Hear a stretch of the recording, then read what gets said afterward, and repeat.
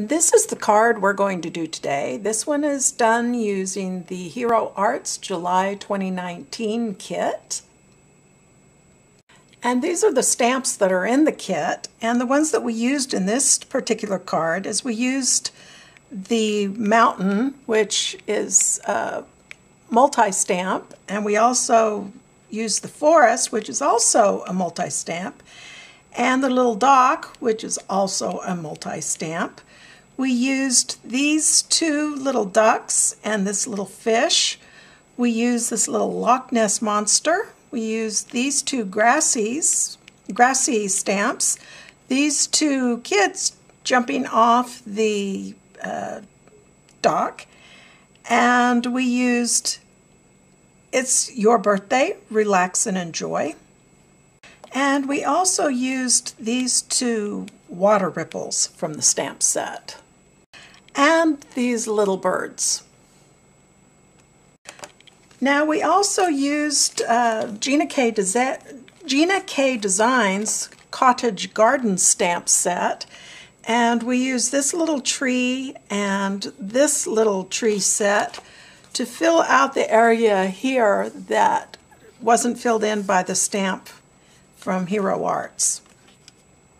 We also used a handmade stencil that was made using Dies to Die For Cloud Edge Border in order to ink in the clouds up in the sky. And so let's begin. Okay, I have some Bristol Smooth cardstock here.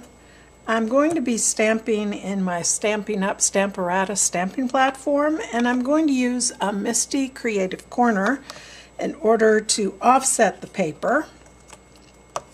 And I've pre-positioned all of my major stamps in the stamp positioner. And so I'm going to start by stamping up the background for the trees. And I'm going to use a Stampin' Up! Pear Pizzazz for this. Okay, now I'm going to stamp the tree portion of this uh, stamp, and I will use Stamping Up! Old Olive. Okay, and now I'm going to stamp the mountains. And what I've done is I've taken the die that comes with this set, and I've just cut out the trees using the die directly to make a little mask. And so I will just put it in like that. Then I'm going to use some Stampin' Up! Smoky Slate. Now when I stamp, I'm going to press down really hard close to where the mask is so that I don't have any white outline. And you'll notice that I placed the mask so that it's there's some overlap.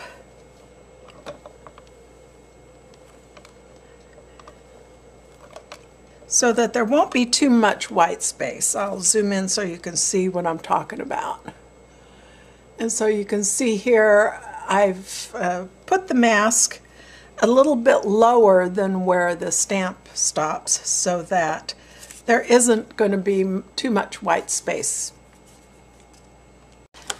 Okay, and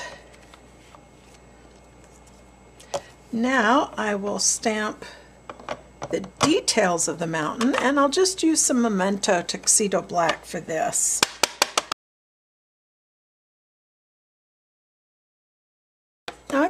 Little bit of ink on the paper right here, so I'm going to use my sand eraser. Okay, now I am going to stamp the uh, pier or the deck or whatever you want to call it. And I will start with crumb cake.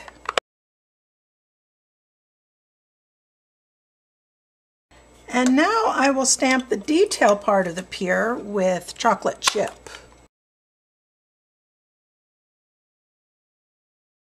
And for some reason, Hero Arts made this little mountain scene here shorter than uh, the or, or, the, the tree line shorter than the mountain. So we have this little space here that I need to fill.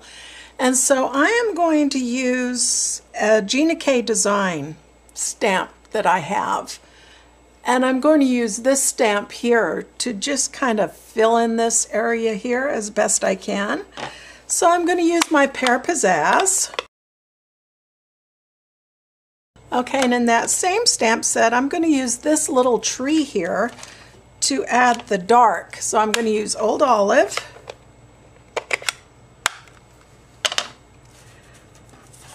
I am going to put just a piece of paper down here to act as a mask. And then I will stamp up this little tree with the Old Olive. Okay, now I'm going to use some Marina Mist along with a makeup brush that I got off of Amazon. This comes as a set of 10 with different sizes and shapes and uh, it costs about $12 for the entire set. And so I am just going to bring some blue into the water area with this makeup brush.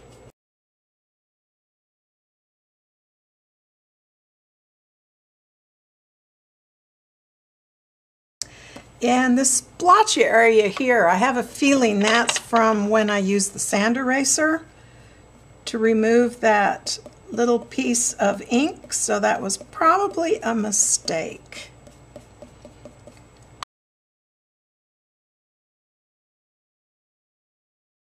And I created a stencil from uh, my dies to die for cloud edge border dies.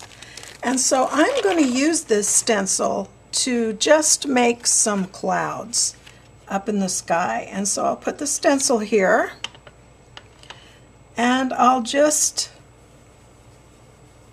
I'm using the same color blue just to make some clouds.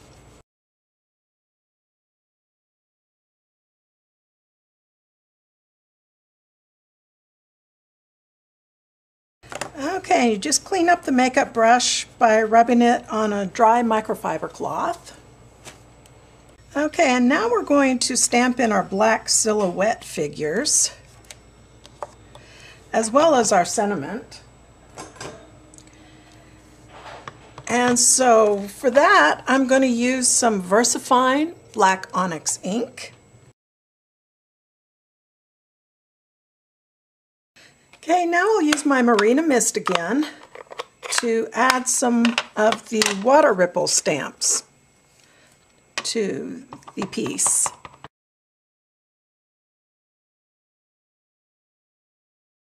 Okay, and now I'll use my Old Olive to stamp some of the grass.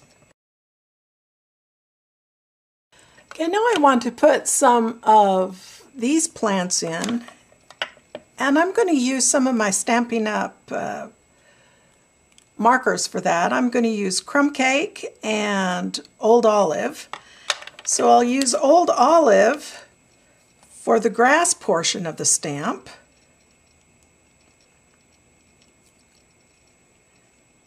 And I'm using the side of the brush to color this up.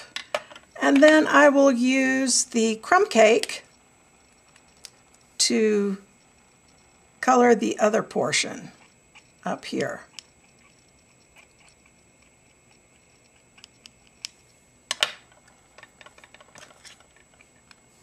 Then I'm going to put a little mask here by the dock, huff on it, and then I will stamp. And I'll do the same on the other side here. And I'm holding the stamp down for a long time to make sure I get good transfer of the ink. Now I may want to use the fine tip of my crumb cake to just kind of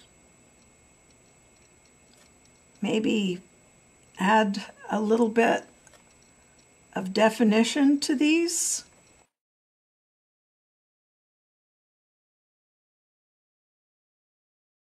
Okay, and to help hide that, I'm going to use my Marina Mist again. And I'm going to use the little water stamp here.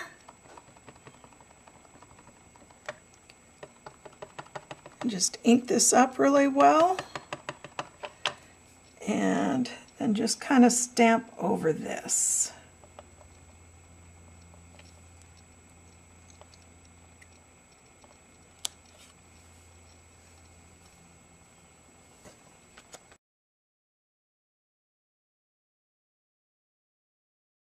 And help side that some more, I think I may also use this little duck.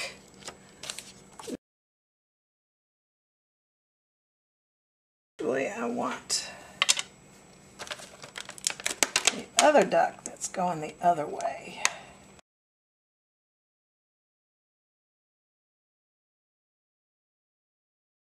And I think I'll actually also use the other duck.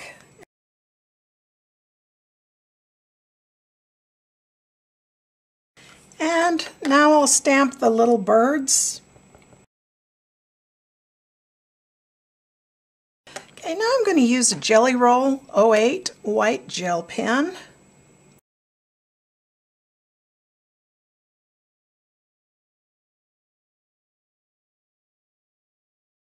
And unfortunately I smeared some ink here. So I'm going to use this little fish and I will do the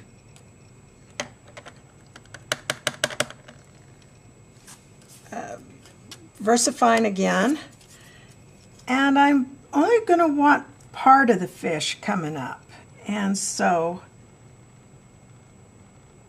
I'm going to use a mask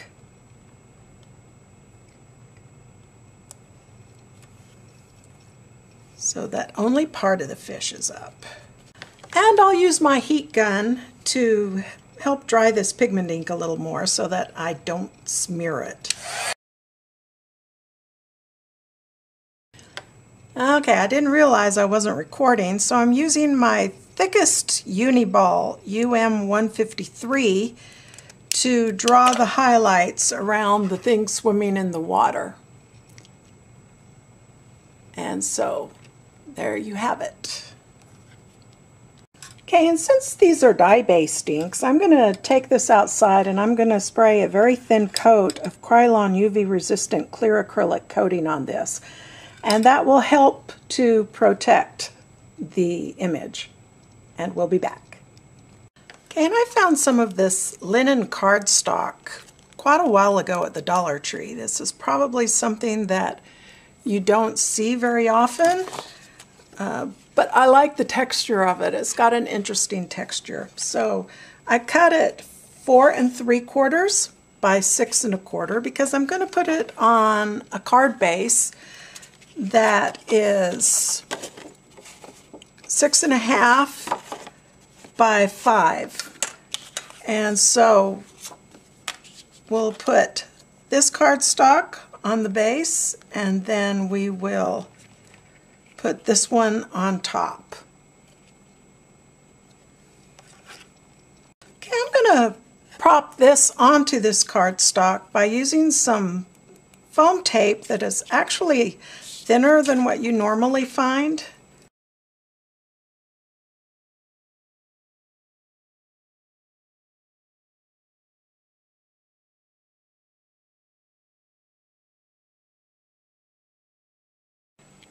And here's the final card, and I hope you enjoyed this video.